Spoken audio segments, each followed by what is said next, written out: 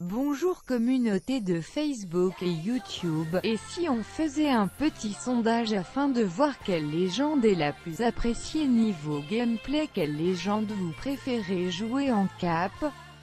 Celle qui vous amuse le plus et pas forcément celle que vous rêvez d'avoir. Le choix est libre please no troll ou ça ira à la poubelle émoticône clignant de l'œil. Plusieurs choix possibles à la limite du raisonnable 2 à 3. Par ex.